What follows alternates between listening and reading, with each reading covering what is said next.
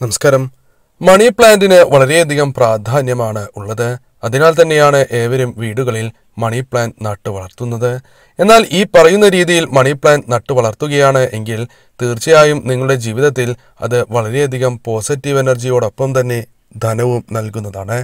അതിൽ പ്രധാനപ്പെട്ടതായി നാം ചെയ്യേണ്ടത് മണി പ്ലാന്റ് ഒരു കുപ്പിയിൽ വളർത്തുക എന്നതാണ്.